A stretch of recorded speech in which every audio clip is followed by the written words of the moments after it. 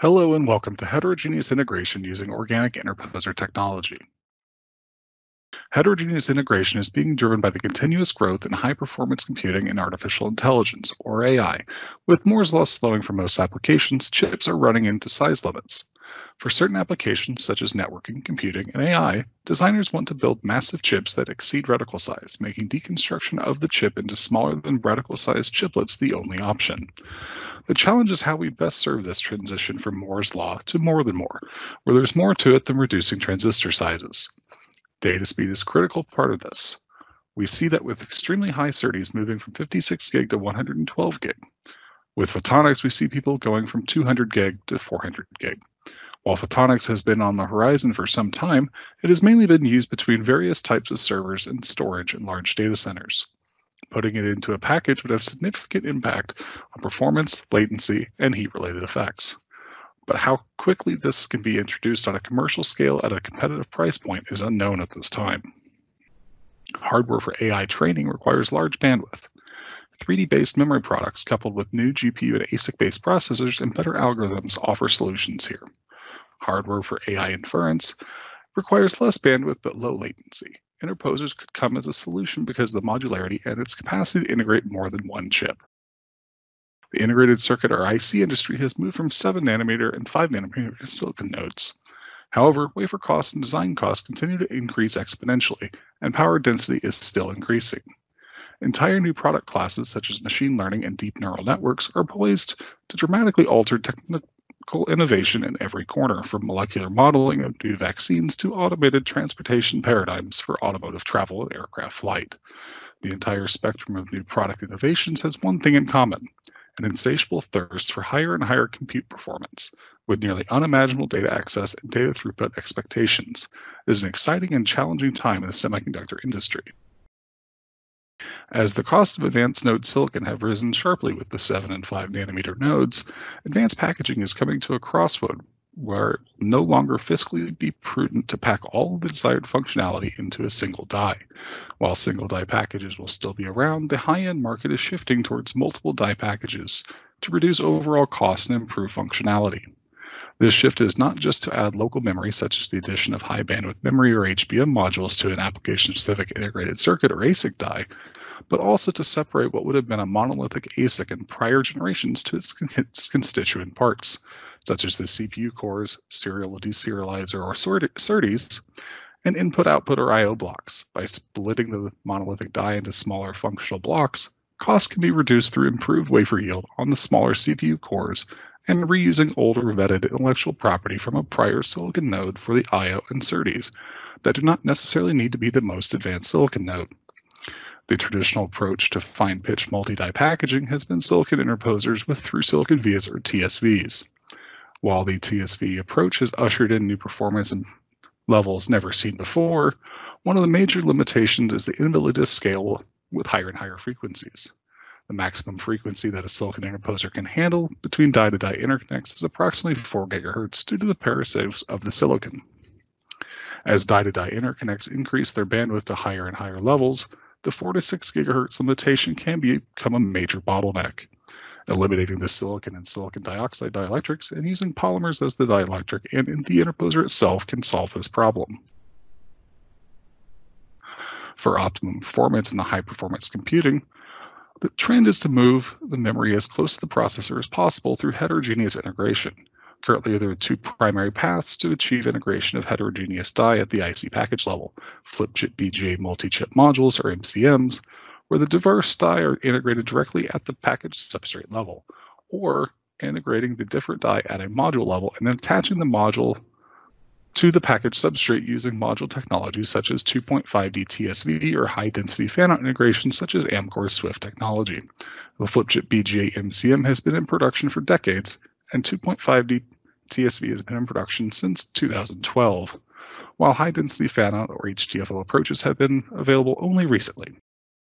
Amkor's Swift HDFO technology has distinct advantages over competing thin film organic fan-out, laminate substrate, and silicon-based interposer technologies, such as improved assembly yield associated with RDL first chip last assembly, where known good die are attached to known good RDL sites, the ability to pre-build the organic interposer, reducing cycle time by several weeks, flexibility and scalability in supporting heterogeneous multi-die, 3D, and system and package constructions, and dramatic electrical, mechanical, and thermal benefits due to the thin film RDL buildup and fine feature capabilities.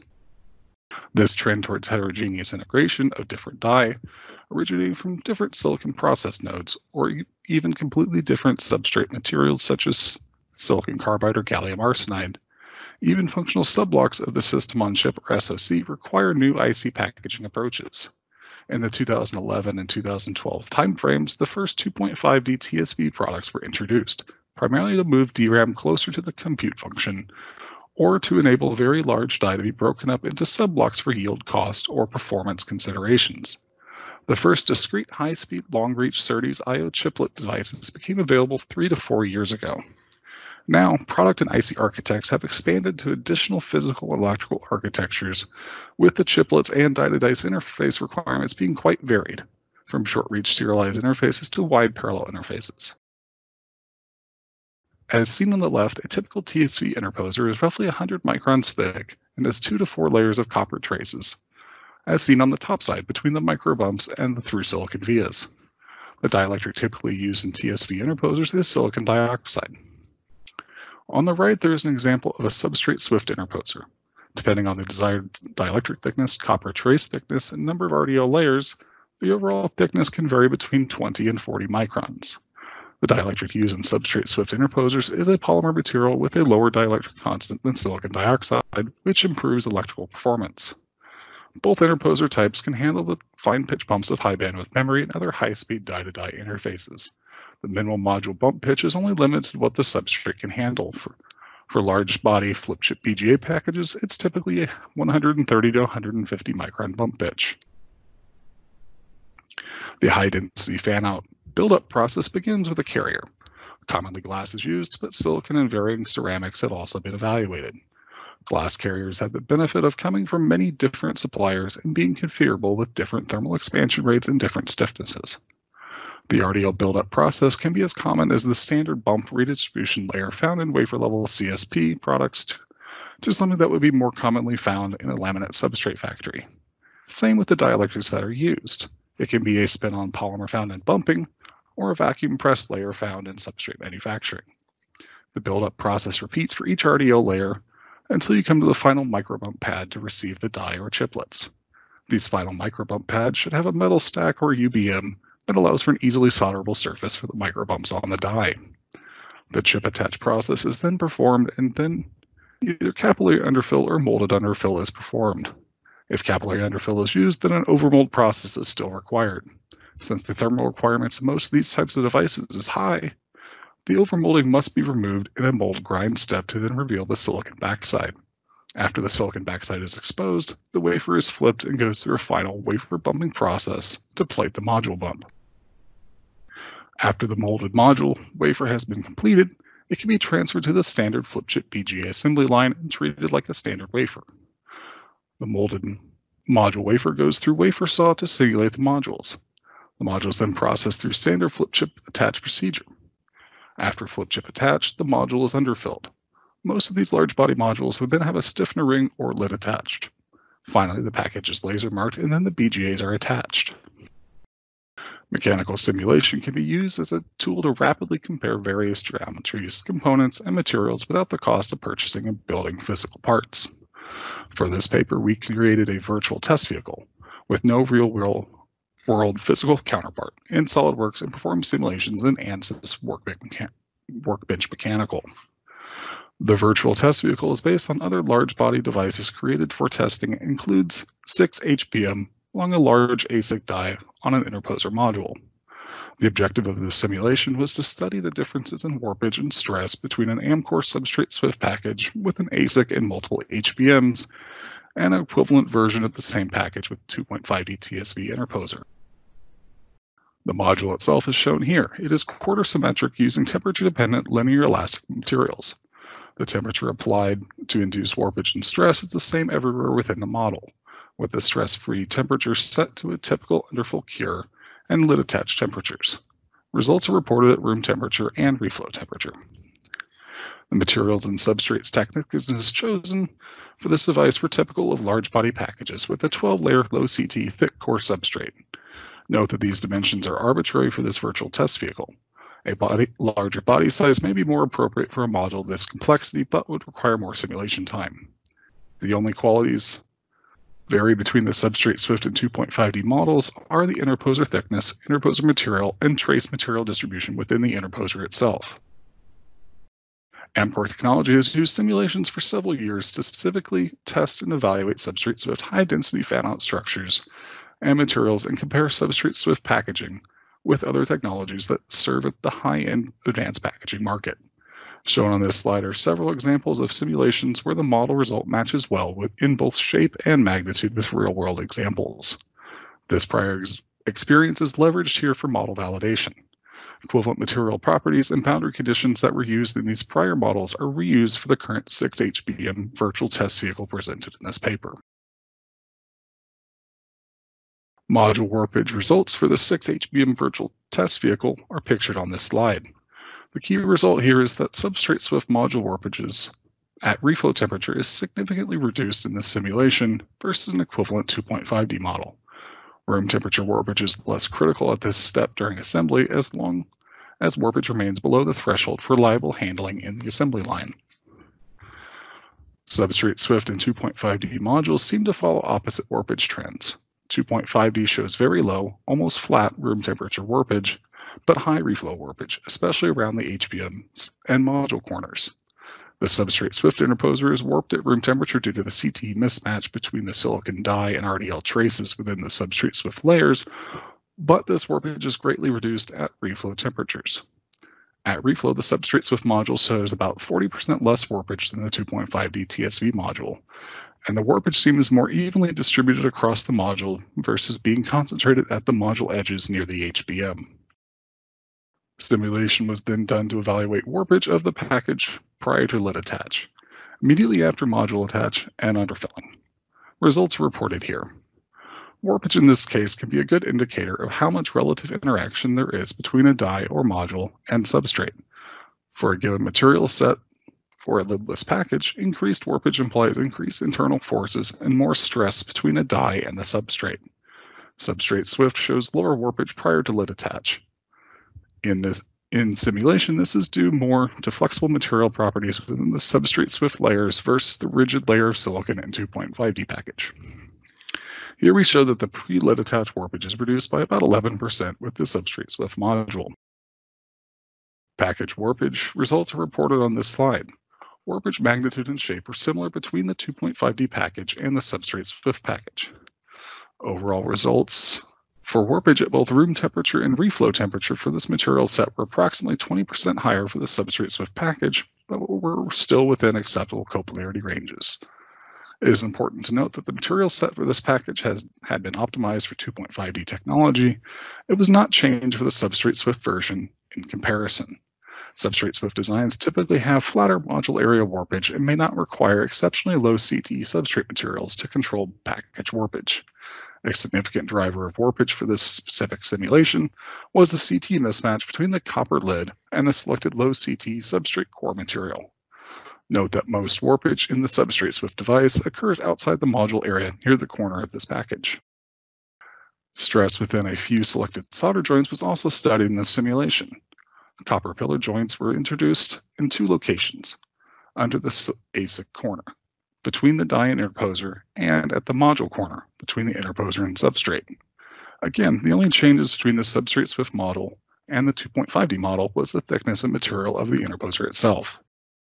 Comparative results for stress at the corner ASIC joint between the die and interposer and the corner module joint between the interposer and substrate are reported on this slide, along with comparison of stress within the back end of line layers near the active surface of the ASIC.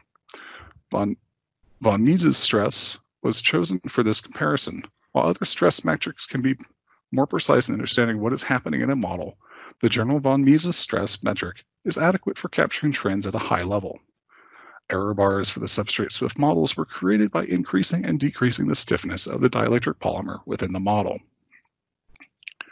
The stress experienced by the joints and die surface is lower for the package with substrate Swift interposer.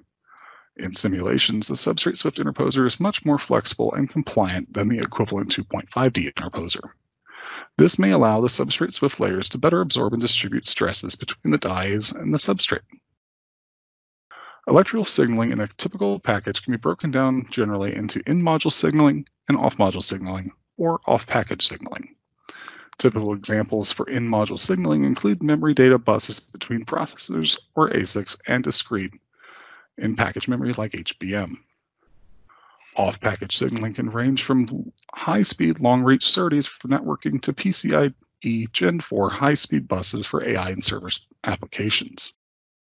Signaling between die and a substrate Swift module can be serialized data streams with fewer physical wires, but higher data rate or parallel interfaces with more physical wires and slower individual wire data rates. Characterizing the high-speed channel is critical, and this has been done using S-parameter test structures and simulation matching. In addition to this, power delivery network is becoming even more important as transistor operating voltages have decreased. This plot shows the insertion loss for a 4 millimeter length of in-module signal routing between the ASIC and HBM, or ASIC and other chiplets, for Swift, RDL layers, and silicon interposers. At 4 gigahertz, the delta is over 1.5 dB. This is a huge difference considering a typical package budget is 3 dB. At higher frequencies, this delta really opens up, which is important for many chiplet die-to-die interfaces that are run from 5 GHz all the way up to 20 GHz. For off-package signaling, high-speed signals typically travel straight downward through the interposer. For Swift RDL, this is a combination RDL metal layers and vias between these layers with a total thickness of 34 to 50 microns. For a 2.5D interposer, the through silicon vias pass through approximately 100 microns of bulk silicon. Again, the Swift RDL stack shows a lower insertion loss. This is a key point as many of these off-package signals are some of the highest speed signaling approaches available, including 112 gig PAM4 long-reach SerDes, where even a 0.2 to 0.4 dB improvement in insertion loss can be the difference between a functioning correctly and not. In the time domain, the eye diagrams easily pick up this difference. Both plots are for 50 ohm terminations, and data rates are 4 gigabits per second for both cases. The eye opening on the substrate Swift RDL case is significantly more open at even just 4 gigabits per second. By way of an example, this substrate Swift case shows an eye height of 0.67 millivolts compared to the 0.49 millivolts for the 2.5D silicon interposer case. To evaluate the reliability of the substrate Swift package, a test vehicle was designed and fabricated with four layers of RDL and a daisy chain in a 67.5 by 67.5 package size, millimeter package size. The reliability tests were performed in accordance with the JEDEC standards, including moisture soak level 4 for preconditioning, temperature cycling condition G, and unbiased HAST at 110 degrees for 264 hours. The high temperature storage test was also evaluated at 150 degrees C for 100, 1,000 hours. Package integrity was monitored before and after reliability tests, as well as daisy chain connectivity by checking the resistance. Daisy chain resistance increases by 20% are considered as an electrical test fail. All samples pass the reliability tests. The cross-sectional images show the micro bump from end of line and post reliability tests. No solder joint reliability failures were found and all reliability tests were passed. Both in simulations and test vehicle results, substrate Swift packaging has demonstrated excellent electrical and mechanical robustness. This robustness has also been demonstrated with large body test vehicles, largely by the reduction of in stress imparted on the die. The improved electrical performance will provide a reliable platform for die-to-die bus speeds well beyond that required by HBM2 and HBM2E enabling substrates Swift packaging to serve both the ASIC HBM configuration as well as the many and varied chiplet-based constructions now in the marketplace and on the drawing board. Thank you.